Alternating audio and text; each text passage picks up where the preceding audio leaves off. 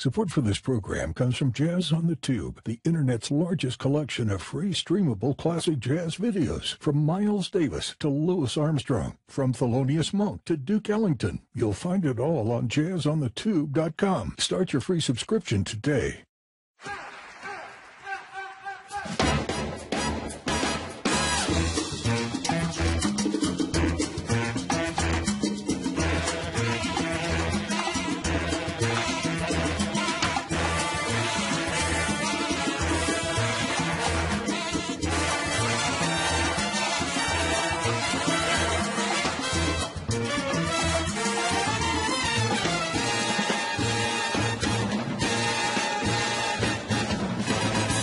Hi, and welcome to Jazz Talk, a Jazz on the Tube podcast. My name is Ken McCarthy, and this is where we talk with people who are doing important work that supports and illuminates the music we love. The writers, the scholars, the educators, the filmmakers, the producers, and more. Hi, and welcome to another Jazz on the Tube podcast where we like to talk with the chroniclers of the music. And today we've got a good call with TJ English. I'm a longtime fan of his his books.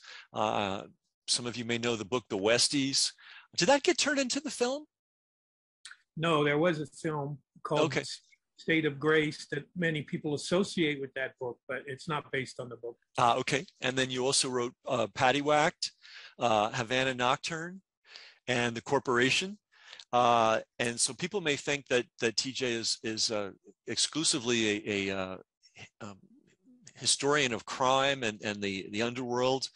Um, but he's also a music guy, and he's put his two interests together in a new book, which I, am thrilled to see coming out very soon, called Dangerous Rhythms Jazz and the Underworld. And it just is a fact that one of the major patrons of music throughout the ages, uh, but especially in the 20th century, has been the underworld, uh, not only jazz, but also salsa as well. Um, and it's great to see this documented because it's it, it, it fills in our understanding of the music and how it was created and it and it gives me personally even more respect for these musicians all the crap they've had to deal with to create their art it's just mind-boggling um, so tj what um, well, I can imagine what inspired you because you love music and you've got an inside uh, knowledge of, of the criminal world. Um, but what was it that triggered you to write this particular book?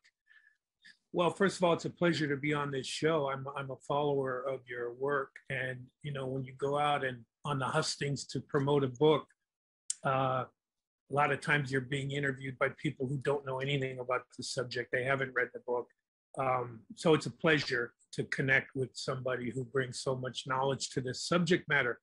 Um, this was a this was a subject I had in my back pocket for decades. I mean, this was a book that needed to be written um, it's kind of amazing that it hadn't been written. In some ways, I wish it had been written earlier when some of these musicians were still around mm. and could talk firsthand about it. Um, it, it, wound up being a, an effort of archival research mostly because of all these players, uh, central players in this story are most of them are long gone. Um, but you know, anyone who knows jazz history or jazz culture and has read history books on the subject or read biographies of individual musicians may have come across references to this history. Uh, it is touched upon in many sources, um, but nobody had really taken the time to focus on this and, and follow the narrative from the beginning because uh, it was just a strange quirk of history that jazz and the, and the mob, organized crime in the United States, more or less started at the same time in the early in the early years of the 20th century. And so the to follow the development of this relationship is kind of an alternative view of American history in general, um, and and more specifically, of course, music history and underworld history. So, as a lover of the music, and I've been a lover of jazz since uh, since I was a teenager, and um, was able to break free of the influence of rock and roll, which is pretty much that was all that was available to us in the culture uh, in the 70s, early 70s, when I was a kid growing up. Um, jazz was something I discovered on my own and pursued on my own and learned about on my own. And as everyone knows who follows jazz, back in the day when you would buy vinyl, the it was like buying an encyclopedia uh, because it was loaded with liner notes that were historical and informative and were part of the joy and the process of absorbing the music. So most jazz fans have a sense of it, of the history of the music um, because of that. And I, I began to uh, uh, accumulate a body of knowledge based on that and further research and then just absorbing the music, listening to the music. And so I had a love for it. And I knew there was this connection. And I had always wanted to get around to doing this book. And um, I actually signed the contract with the publisher right before COVID hit. Uh, but it turned out to be such a great book to be writing during the pandemic uh, while we were all on lockdown um, because it was such jo- joyful history. I mean, in a way, it's organized crime and there's some violence and there's some nefarious activity and all that. But um, I like that stuff. I mean, that's what I write about. So that was not a negative. And the other thing was just to commune with the with the spirits of the music during the period of the pandemic. You know, to walk hand in hand with Louis Armstrong and Duke Ellington and even the gangsters, Mo Levy and and uh, and Joe Glaser, um, the the famous, the infamous manager of of Louis Armstrong, and so many other musicians.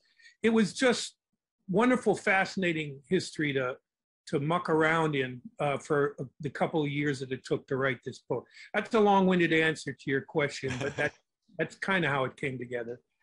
And you you start uh, by talking about the Sicilians well, you know, I guess in a way we, uh, the Sicilians, we should we should talk a little bit about uh, what the mob is, a definition of the mob, because I, am I'm, I'm not sure everyone's um, clear on that. Uh, most people, when they think of organized crime in the United States, they think of the mafia, Italians. And they think the mafia controlled everything, which is not true and, and was never true. Um, the, the mob is a larger entity than that the mob is a universe of connections between the underworld and the upper world that grease the wheel of capitalism. Um, because that's the story we're telling here. We're telling the story of the business of jazz, not so much the music of jazz. And so the mob would be underworld figures like the mafia. The mafia were key players in the mob, but they weren't the mob in its entirety. The mob included not only other ethnicities uh, of, of gangsters, uh, Irish, uh, uh predominantly Irish and Jewish back in the early uh, years of the 20th century, but also we're talking about corrupt officials within the upper world, you know, politicians, cops on the take. All of these people are part and parcel of what we refer to when we talk about the mob. Sicilians uh, the early 20th century had seen a, a, a, sustained period of immigration by Sicilians into New Orleans and Louisiana. And this was interesting. It formed a, a foundation for many things related to business. And one of the things was the um, owning and managing of clubs, um, not called nightclubs yet. That term was not common. They were called honky tonks um, and other things and um, Sicilian immigrants owned a number of and became amongst the most prominent early patrons of the music. Um, they actually laid down a template, so to speak, of, a, of a relationship between the club owners uh, and the musicians. And this became a template that would hold for decades, uh, throughout most of the 20th century, in fact. And that's where it's all, that's where it all started and and you know the, I, I'm I'm uh, half Italian, and yes, when we go back to our uh, late 19th century roots, one of my ancestors ran a, a, nightclub. I guess it wasn't called a nightclub then. In in what is now uh, what's that town? What's that thing right across the river in Long Island City? Um, and and this was something that was open to immigrants as a business because they were locked out of law, they were locked out of medicine, they were locked out of professional jobs, banking jobs, so they had to hustle. And I guess the other thing that, that we should always remember about the Sicilians in New Orleans in particular is they were not racists to the degree that the the Anglo-Saxons that were running New Orleans were. Uh, they they served uh, black customers. uh, the first guy to really record black music later, many decades later, was a Sicilian.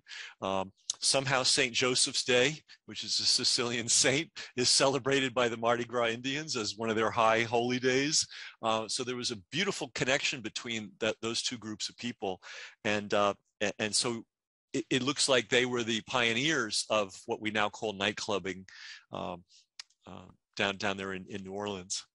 Yeah, absolutely. Um, one of the things about this relationship between the underworld and the music is interesting because it was mostly uh, a coming together of immigrant, the immigrant class, the early 20th century immigrant, even the late 19th century immigrant class, Italian and Irish and, and Jewish, and African Americans.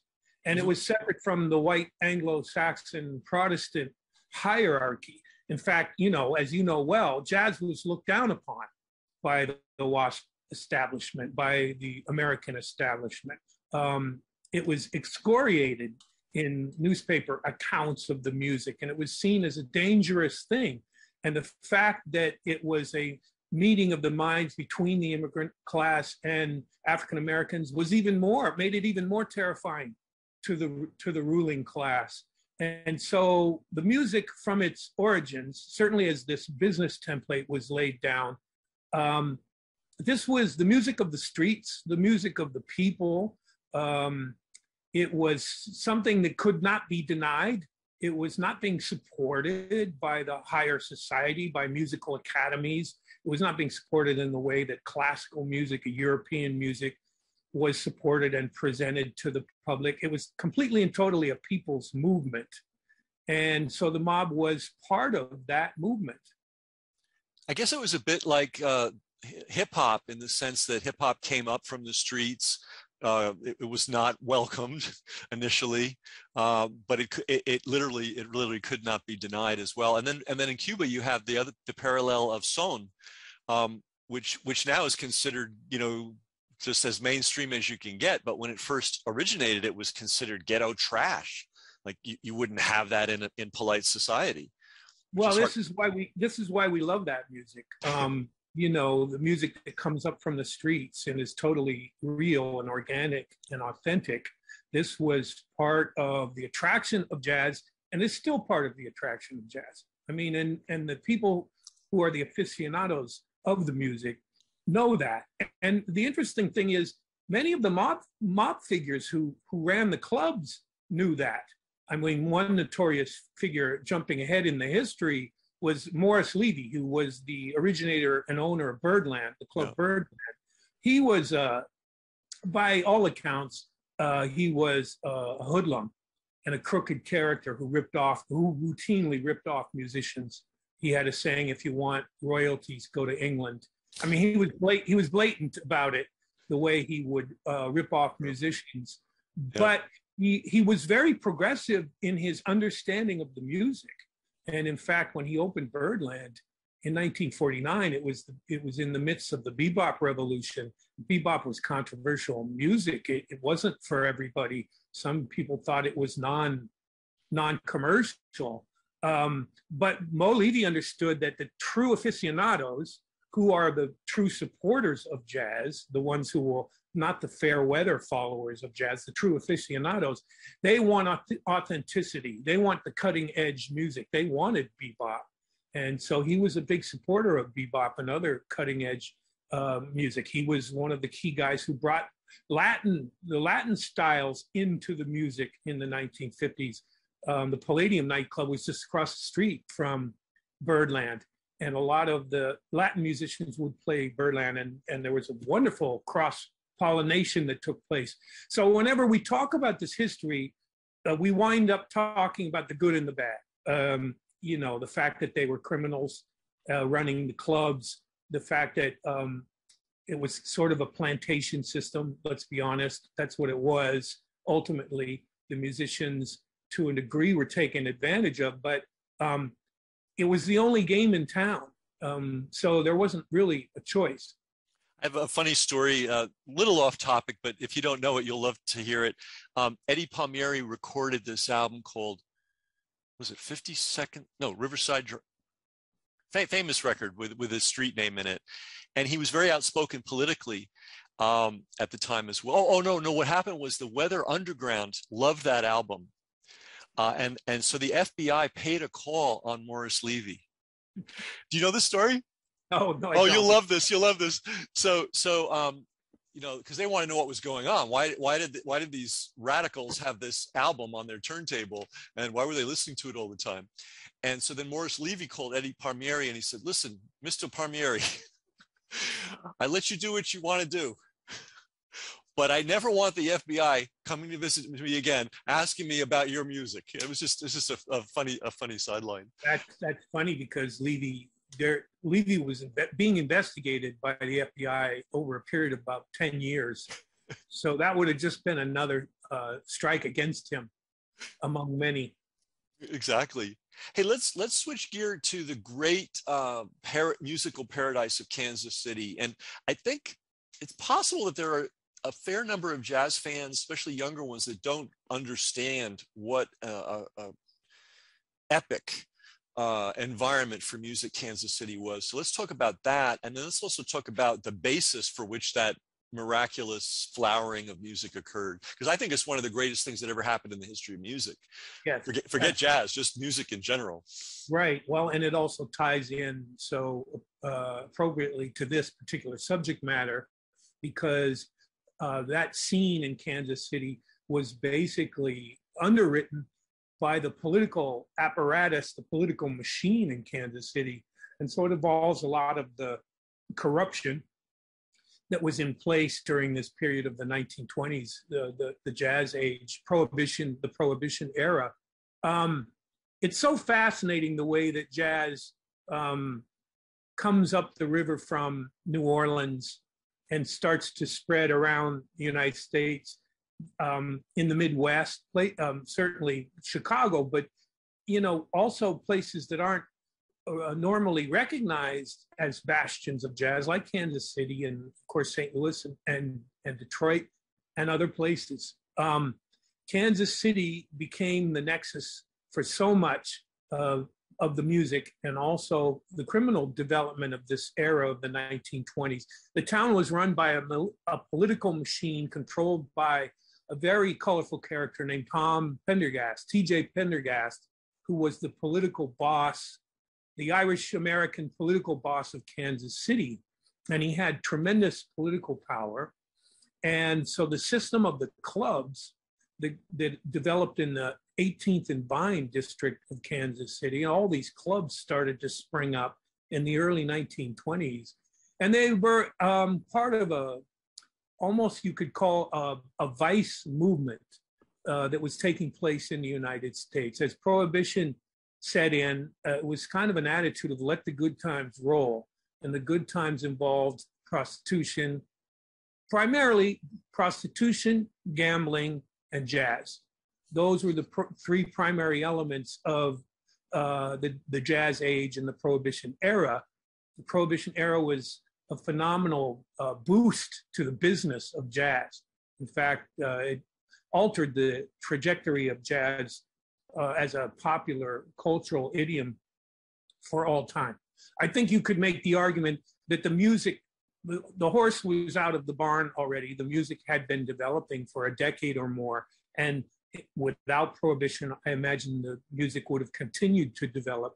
But it's undeniable that prohibition created a framework for presenting the music to the public that was unprecedented. And a lot of it had to do with speakeasies. Uh, you know, every speakeasy, and there were dozens of them in a town like Kansas City, uh, had a had a trio or a quartet or a quintet, a smaller group. And then the, the clubs, the larger clubs like uh, Cuban Gardens became a very popular club in Kansas City. They would have big orchestra, an orchestra of 25, 30 musicians. And the only place that it could afford to have an orchestra of 35 or 40 people was was a club that was run by the mob and that was gen- that was generating money. And this is very important not only from the music but from the sale and distribution of the legal booze. Well, there, yeah there you go. I mean the, the band brings in the crowd the crowd buys the booze and Yeah, that makes, yeah. makes the wheel turn.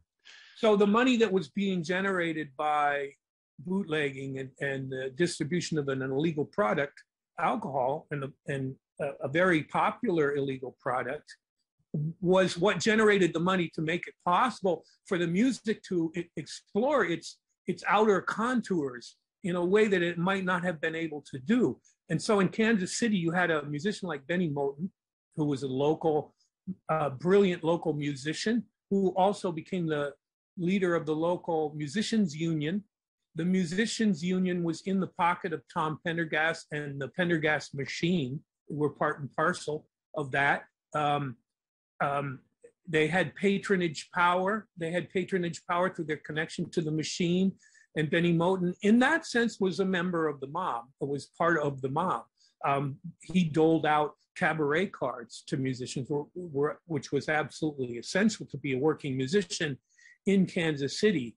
And um, the Pendergast machine took care of that union. And the reason they took care of that union is that union uh, guaranteed a certain number of votes come election time. And they always turned out for the machine's candidates in various local elections. That's how it worked. And so Kansas City was just a glorious period. There's a number of uh, books on this subject. And of course, there was a movie by Robert Altman called Kansas City, which is not a great movie, but it's a very, very good recreation of the era. And the music is great in the movie. Um, and so it's worth seeing in that regard.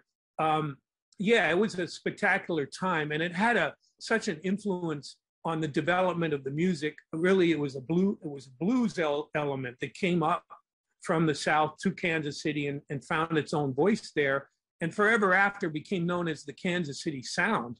And it was so popular that you would hear this style of jazz in, in New York or Philadelphia or other places where jazz was popular. My, my understanding is that literally from, from accounts uh, from people that lived through it, there was music 24 seven. Yes. well, it, there was no closing time in Kansas City. Yeah. Uh, there's there's some wonderful oral history accounts. Um, one of the one of the reasons this book was popular, I mean, sorry, was possible, and I, I, I it's incumbent upon me to say this. One of the challenges was all the musicians were mostly dead and gone uh, from the eras that I'm writing about. Luckily, um, certain cultural institutions were smart enough to do oral history interviews with a lot of these jazz musicians before they died.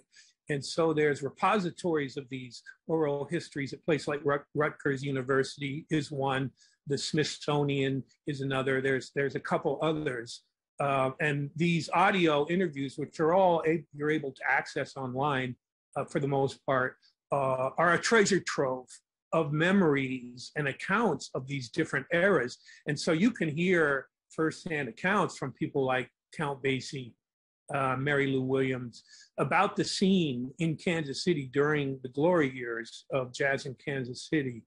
Uh, and it was amazing. And, and, the way it fits into the, the puzzle that we're talking about is it was a continuation and a further enforcement uh, of, of this relationship that had started in New Orleans and the template had more or less been laid down in New Orleans the idea of clubs owned by mafiosi and other underworld figures that were connected to the larger apparatus of the mob. And this is true in Kansas City. It's true in other areas that I write about in the book. It becomes the relationship that exists for a period of about 80 years. Gotcha. And, and you know, something that may not occur to young people uh, but is really important to grasp is the reason live music was the thing was there was no such thing as a sound system like like you you couldn't put in big speakers and a, and a turntable and entertain people with canned music the only music for a night for a nightclub was a, a live band and yeah and that, you, that does change when recordings uh, come into being um, record albums you could of course hear it on the radio but even on the radio, it was live. It were all these were all live telecasts. This is kind of how the music spread like wildfire all around the country was on radio. So you'd have live shows from New Orleans or from Chicago, and they'd be telecast everywhere. And so people in in Denver and in San Francisco and in Seattle and Los Angeles were falling in love with the music in real time because they could hear it on the radio. Yeah, there's a funny story. I think it's Benny Goodman. He had a radio show in New York that was really late at night, and he wasn't getting much traction. But out west, it was playing earlier in the day, so more people heard it. And when they went out to do a gig in LA, the the place was jammed, and it was yeah. all the function function of of the radio. Um, hey, listen, speak going upriver now. Um, we, we can't talk about this subject without talking about uh, Chicago, you know, the, the ultimate gangland city. Uh, talk about the the patronage patronage of uh, jazz by uh, the Chicago mob.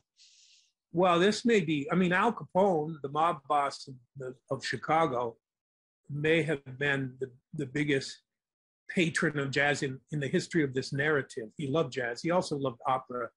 Um, these two musical styles, I think, res- uh, represented two sides of his personality. Um, opera representing his Italian roots and jazz representing his American reality. He loved jazz. Um, he was a patron of the music, and then he became a patron of the business. He had uh, a piece of four or five different clubs in the Chicago area, some of them very popular clubs. Um, and not only that, he would show up in these clubs fairly regularly. There's a club in Chicago that is still there called Green Mill, anyone in Chicago will know this club. It's kind of a glorious place. I guess it's Chicago's version of the Village Vanguard, although I think it opened earlier than the Vanguard. I think it opened in, in 1908. I, I may be off by a couple years, but uh, it may be the oldest existing jazz club in the in the United States. Hmm. Great place. Capone had his regular booth in that club where he would sit with his buddies and listen to the music he was such a big fan of the music uh, that once, and, and this is a, fa- uh, a famous anecdote in the history of this relationship, um, some of his underlings, as a birthday present for Capone, kidnapped Fats Waller, who was had been playing a residency at a club in Chicago, and um, Capone had gone to see Fats Waller and just loved him, um, as anyone would. Um, Fats Waller was one of the most spectacular jazz entertainers to come along. He's still, to me, in the in the pantheon, the great entertainers of jazz. His stage persona, the kind of joy that he brought to what he did. He was one of those kind of jazz musicians like Louis Armstrong that you'd sit down for a set and you'd have a smile on your face mm-hmm. throughout the entire set. Um, so they took it upon themselves to kidnap um, Fats Waller at gunpoint and tell him that they were going to set him up at a hotel in Cicero and that he was going to perform for Capone's birthday party over the course of the weekend. And so that's what occurred. It was a great surprise to Al Capone that Fats Waller was brought in to play for him and his party.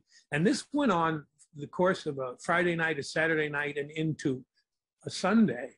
And so Waller, who had, you know, this was all done, uh, you know, not with his not with his understanding or cooperation. It was a surprise. And when they first grabbed him at gunpoint, according to Fats Waller and his accounts of this incident, he was terrified.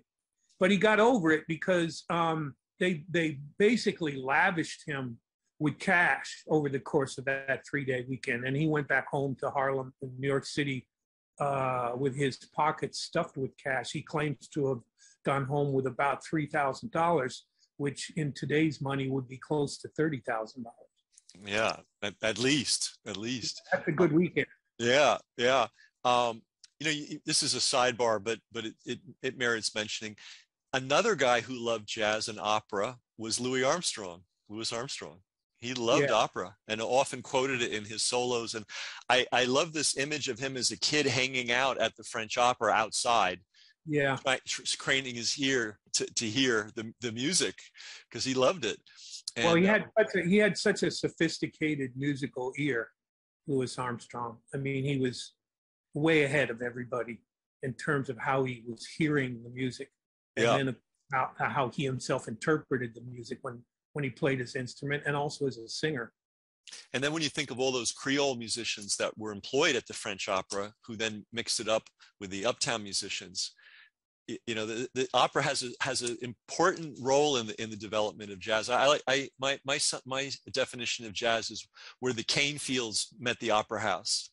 Uh, well, that's the, this, this is the beauty of jazz, right? It, it's it was democratic enough that it became uh, uh, it just it sort of took in elements of all kinds of music, and and this would become a, a controversy that exists to this day, of course what is jazz and what defines jazz and what is some people are purists about it and they believe that it's not jazz unless it has its roots in the blues and swing music and everything right. other than that is a is a pretender but uh, others would say no jazz always was open to incorporating musical elements from other cultures and also improvisation and all these elements of jazz that have become part of the music also and there you know there are other uh, jazz musicians who don't even like the term jazz don't don't don't even use that word.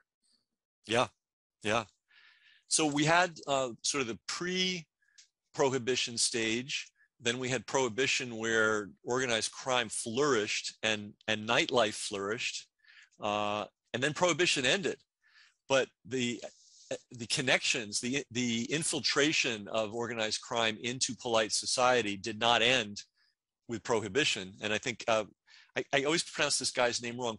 Kefauver. Is that it? Kefauver. Yeah. There was there was actually, uh, and I wonder if you know the answer to this. I've been trying to find the answer.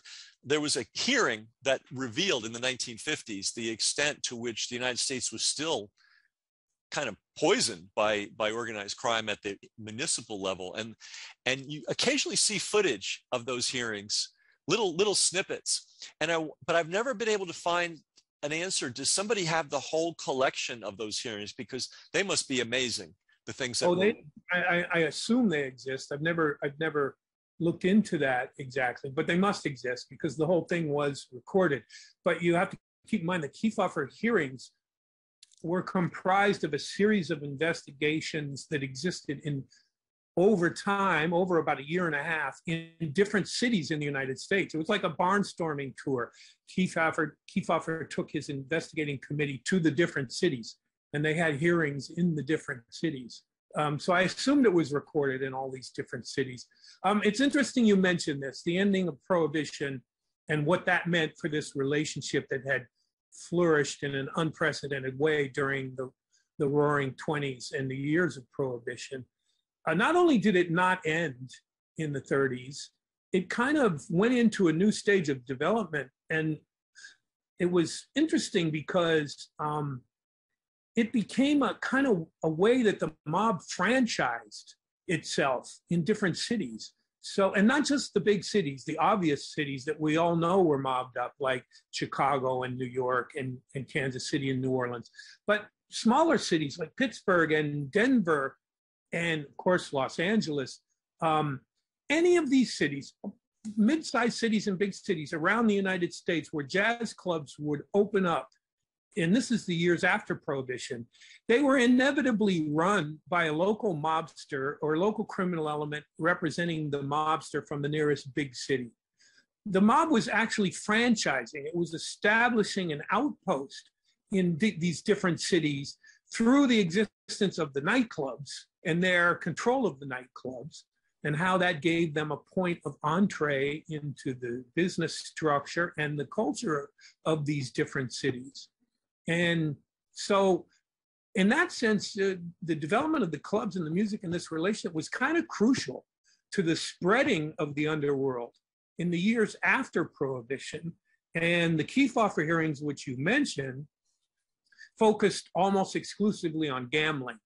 Mm-hmm. They, the, the, the, those hearings were to explore the relationship between gambling and how gambling had corrupted the the overworld, the political apparatus, law enforcement that were being paid off to allow gambling operations to run in different jurisdictions. Remember, this is pre Las Vegas. So mm-hmm. when people wanted to gamble, and gambling was huge, gambling was was and still is a big addiction in the United States. People wanted to gamble, they'd go to resort towns like Hot Springs, Arkansas, And there were a number of others Covington, Kentucky, uh, of course, Atlantic City. And these places had casinos that were also nightclubs that showcased jazz. So jazz was the music of this expansion that the underworld was making via the clubs. You know, the the the, the uh, organized crime had a financial problem when uh, prohibition ended because that was such a huge revenue generator. But luckily, they had a lot of cash, and I think that's what they did. Is when prohibition ended, they just started investing that cash in, in you know the, the nightclub franchising business. A, a, a little piece of history. Um, uh, uh, Jack Ruby, the notorious Jack Ruby, who ran a, a strip club, which I imagine well, I know it was mobbed up. Um, he was sent from Chicago by the Chicago mob to Dallas to open that place and run it. And the thing about nightclubs too, it's a place where people can come and go at all hours of the night. And if you are a criminal, it's a good place to have meetings. Uh, it's a good place to bring drugs in the back door and out the front door. I mean, they're, they're very useful uh, enterprises for a lot of different reasons. Yeah, so maybe- no, that's that's a crucial point because um, the clubs existed primarily as a front for the underworld figures to launder their illegal profits.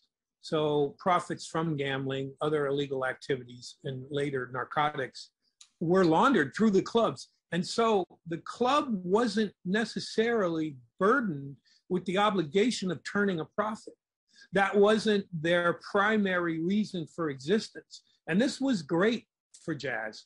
Um, and it, it remained a boon for jazz in the years when jazz started to wane as a commercial entity, as jazz went from controlling about 80% of the music market in the United States to dwindling to something much, much, much smaller than that. Um, and and so, but the music sustained itself as as a, a live uh, form of music in the clubs, thank, thanks to the fact that these clubs often were just fronts for um, gangsters to launder their money.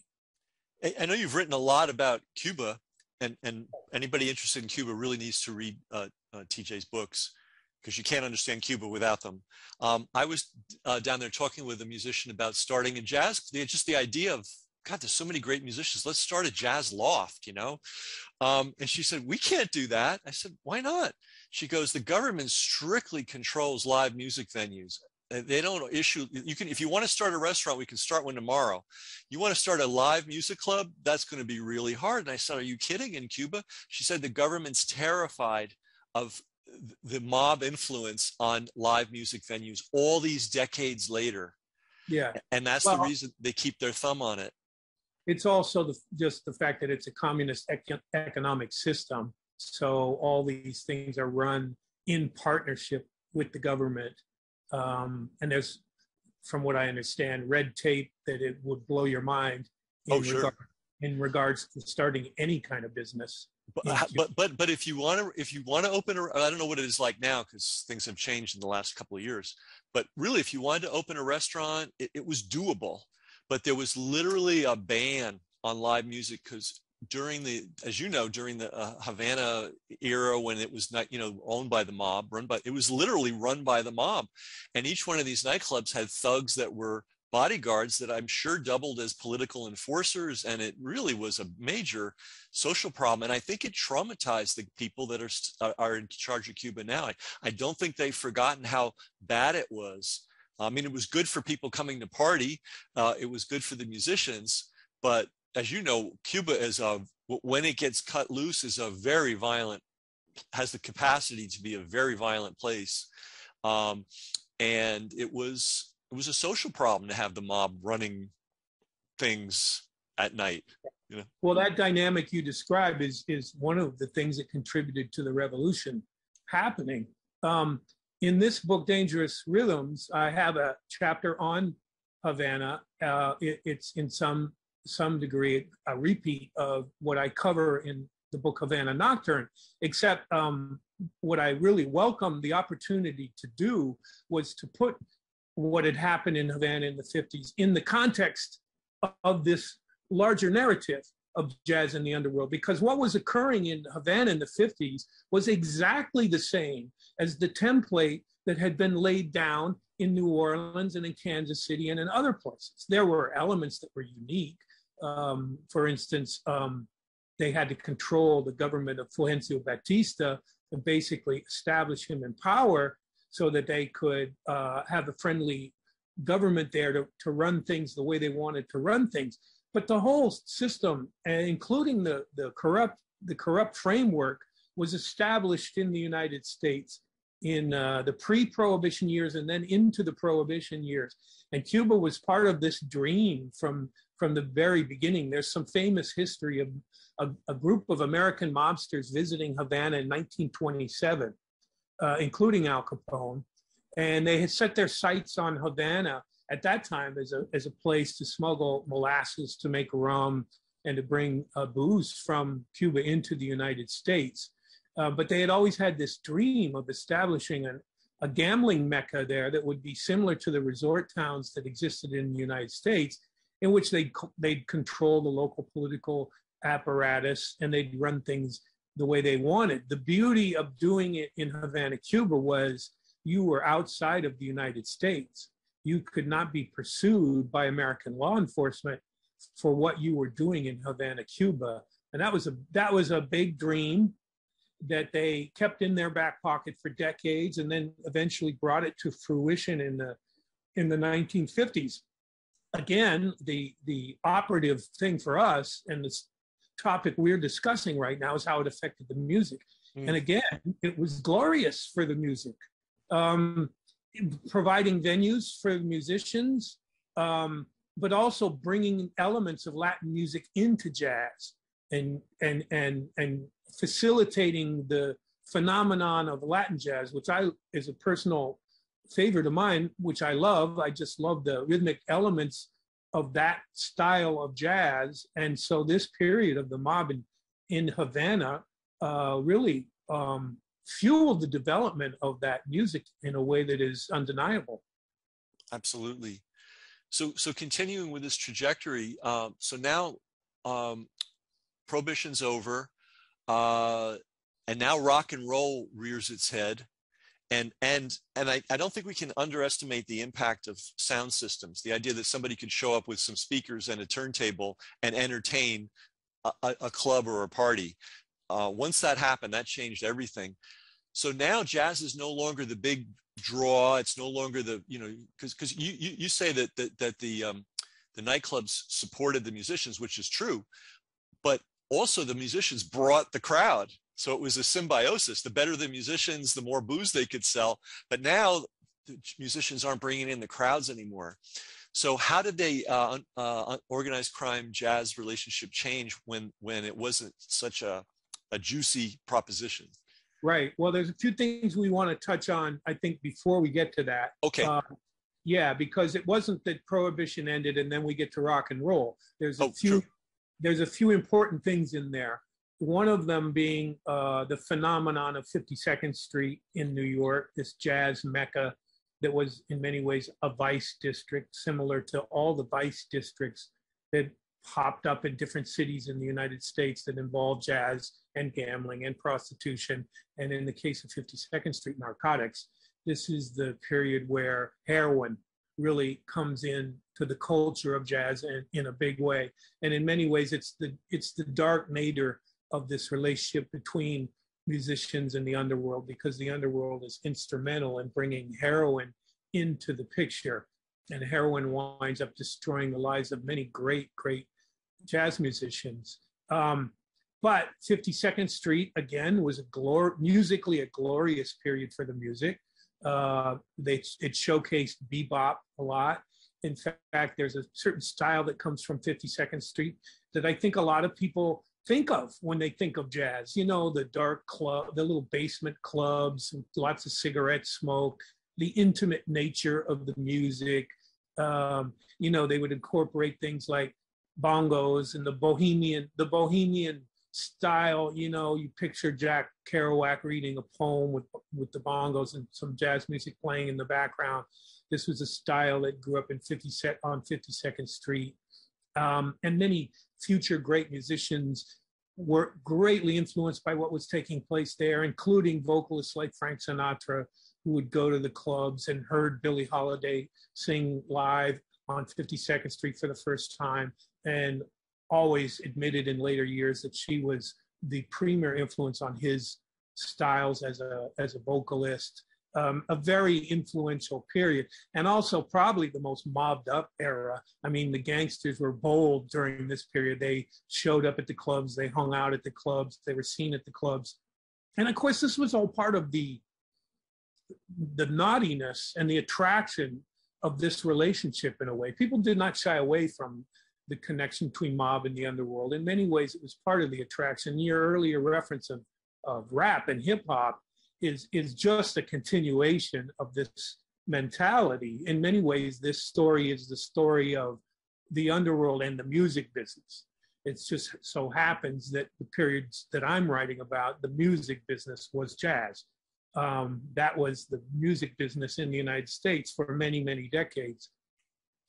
Um, so you had this period, I uh, and and this was a very fertile period for the music, and also a fertile period for the connections between the underworld and and the music. And by now you do have recordings, and you do have the dissemination of music, and the mob had their hooks into all of that. Mm. Uh, this is important to know. It wasn't just the clubs. The mob had their hooks into the recording studios, and, and in some cases they own the labels. Mo Levy, who was the co-owner of Birdland, also was the owner of um, Roulette Records, which was highly influential in the recording of jazz musicians. And also, another important factor is jukeboxes. This really starts in the 1930s. Jukeboxes becomes a phenomenal development in the technology of disseminating the music. Mm. And the mob controls this from very early on. Um, they own and control the companies that distribute the jukeboxes. And if you were a club owner or a restaurant owner, you were extorted and forced mm-hmm. to take certain jukeboxes. And if you tried to take others, some goons would show up at your place of business and throw the machine out in the street, or maybe something worse. There were deaths and killings related to the jukebox business. It was eventually investigated in another one of these congressional hearings called the McClellan hearings later in the 1950s, where Robert Kennedy Jr. was the lead counsel for that, and he um, launched an investigation into the jukebox business. So the mob had its hooks over the course of the decades following Prohibition. The mob got its hooks into many different aspects of the business. In the book, I, I write about the cabaret card system and how that was actually an onerous system that in many ways was controlled by the mob and the corruption of the mob spreading the money to the police department the police department had a division that, that doled out cabaret cards and determined who worked and who didn't work.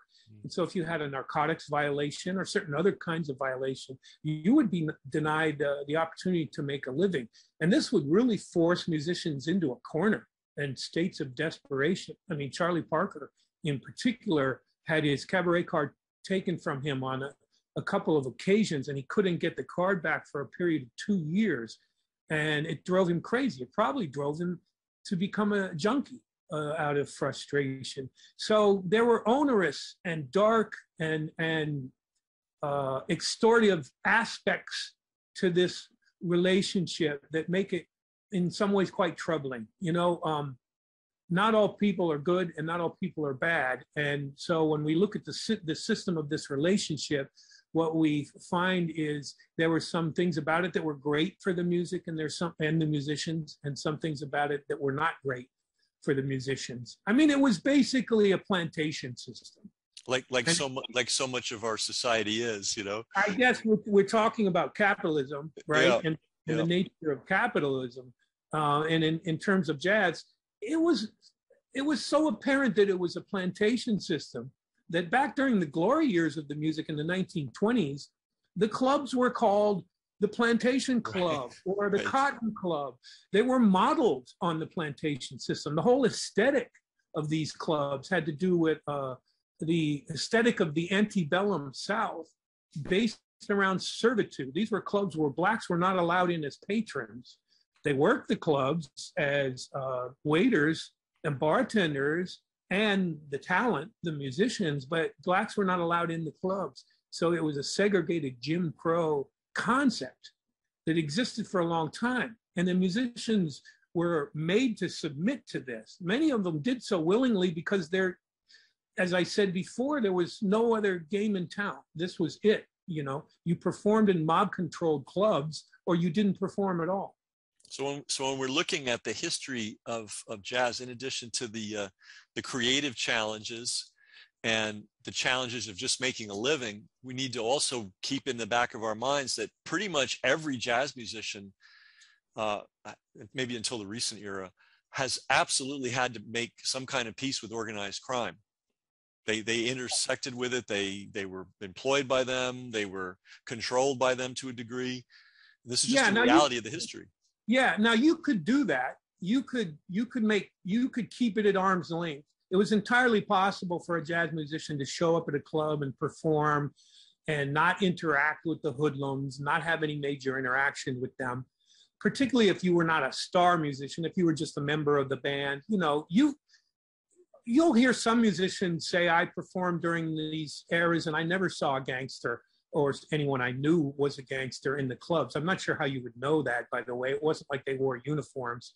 I mean, um, gangsters had a look that we became so popular that everyone who came to the clubs looked like a gangster at a certain point. You know, they wore the fedora and the long coats, and they, there was a certain look that became the look um, that average citizens adopted.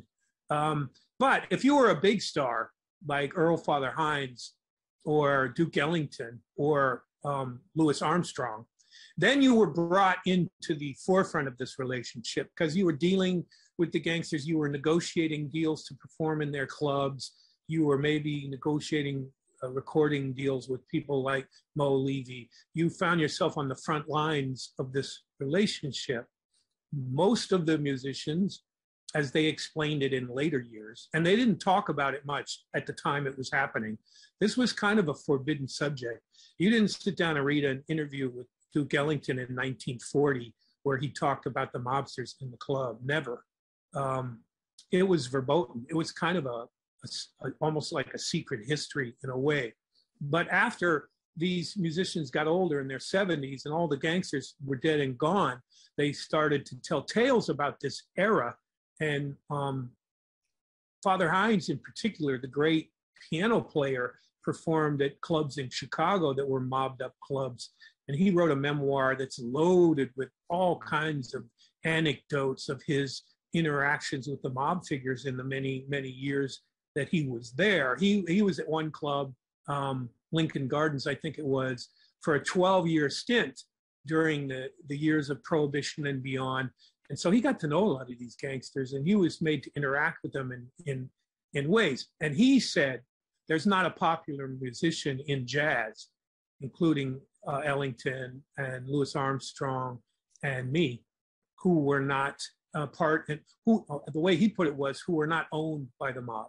Wow. Owned. So, owned. So, so um, you know, in addition to being uh, great artists and great composers and great band leaders, they had to be great diplomats too. They had to navigate this uh, this scary world, frankly. They had to have street smarts, you know, which is um, an element of the music. I think that it's it's um, it's very knowing music. Jazz music understands uh, the nature of uh, dark corners and shadows. It also understands the nature of love and, and lust and romantic interactions. Jazz is supposed to be worldly in its understanding of the world. And I think it's particularly true of jazz because of the fact that it came out of this relation, business relationship with the underworld. I'll give you an example of it. Um, anyone can take the great era of Duke, Elling- Duke Ellington Orchestra in the late 1920s, at a time when the Duke Ellington Orchestra was the house band at the Cotton Club. And you listen to songs like um, Creole Love Call and Black and Tan Fantasy and The Mooch. Um, these are, this is music composed by Ellington that I believe is of the underworld, by the underworld, and for the underworld. Duke Ellington understood that he was performing at a club that was owned by gangsters, that it was primarily gangsters coming into the clubs, and it was the and the patrons were white people who, to a degree, were slumming in black culture. They were in love with jazz and they loved the titillation. They loved the fact, I think, some of them, given that the decor of the place was servitude and slavery in the in the antebellum South, they liked the idea of it. They were drawn to the idea of it, and so Ellington had an awareness of this, and he was writing music. And when you listen to it, I implore anyone who's hearing this to go listen to the song "The Mooch," and what you will hear is the soundtrack of this relationship. Ellington was very conscious of the fact that he was writing music that was infused with these attitudes of the underworld. It's underworld music. It's mysterious. It's a little bit naughty. Mm. It captures the flavor of everything we're talking about here.